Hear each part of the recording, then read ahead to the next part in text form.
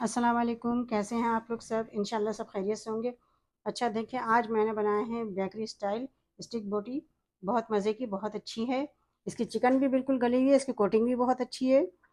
आप इसे अपने मेहमानों को खिलाइए, ईद पर रखिए इसे। बहुत अच्छी डिश है। चलिए, देखिए, हम किस तरह बनाते हैं। अच्छा हमें कबाब बनाने के लिए हम लेंगे एक टेबल स्पून लेमन जूस। एक टेबल स्पून लहसुन अदरक का पेस्ट। मैंने ये चिकन जो ली है, ये एक पाउंड ली है, एक पाव। एक टेबल स्पून नमक नमक, एक टेबल स्पून धनिया पाउडर, एक टेबल स्पून ज़ीरा powder, half teaspoon chaat masala. देखो, थोड़ी सी हल्दी डालेंगे, आधी चम्मच से भी कम। और एक टीस्पून हम डालेंगे लाल मिर्च पाउडर। अब इसे हम अच्छी तरह मिक्स कर लेंगे।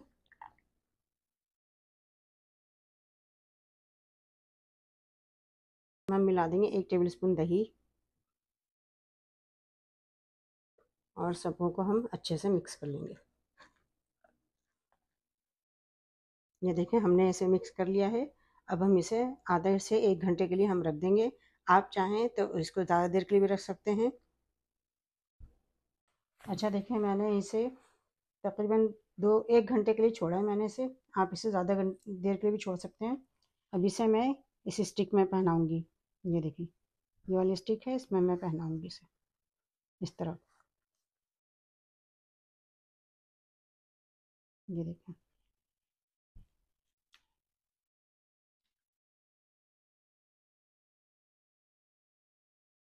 ये देखिए, इस तरह मैंने पहनाई है। इसी तरह मैं सारी स्टिक में पहना लूँगी। ये देखें, मैंने इतने सारे बना लिए हैं। अभी से हम कोटिंग करके इसकी फ्राई करेंगे इसको। देखें, इसको कोटिंग के लिए हम करेंगे ये। पहले हम ब्रेड क्रम में मिलाएँगे। ब्रेड क्रम से कोटिंग करेंगे इसकी।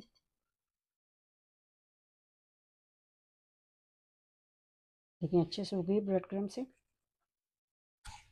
देखें, ये अंडे कोटिंग की अभी हम इसी तरह सारी कोटिंग कर लेंगे। देखिए हमने अंडे कोटिंग करके अब इसे फ्राई करेंगे। इसे हमने पहले तेल को तेज़ गरम किया है, फिर हम इसे नॉर्मल इस पर रख के तकरीबन दस मिनट तक फ्राई करेंगे। देखें, अभी मैंने चार डाला है, अब इसे फ्राई करेंगे हम। अच्छा इसे मीडियम फ्लेम पे रखना है। ये देखें। बहुत अच्छा सा बेकरी स्टाइल तैयार होगा ये। बेकरी में मिलते हैं और बच्चे बड़े सब शौक से खाते हैं। ये देखिए मैंने दो अभी एक डाले ये दो अभी डाले हैं। ये जो फ्राई और ये चार मैं पहले निकालेंगे। देखिए ये ब्राउन हो चुके हैं, जो मैंने पहले डाला था, इसे हम निकाल लेते हैं। तकरीबन मैंने आठ से दस मिनट फ्राई किए हैं इसे। ये देखें देखिए, मैंने तैयार कर ली स्टिक बोटी। बहुत अच्छी है, बहुत मज़े की है। बेकरी स्टाइल की है। देखें इसे मैं दिखाती हूँ। ये देखें, गल भी गई है अच्छे से। ये देखें, बहुत अच्छे से गल गई है। बहुत टेस्टी, बहुत मज़े की बेकरी से आप लेके इतने पैसे ज़ाया करते हैं। आप घर पे बनाएँ, बच्चे भी शौक़ से खाएँगे, बड़े भी शौक़ से खाएँगे। आप इसे ज़रूर ट्राई कीजिएगा और मुझे अपने कमेंट में बताइएगा कि मेरी रेसिपी आपको कैसी लगी।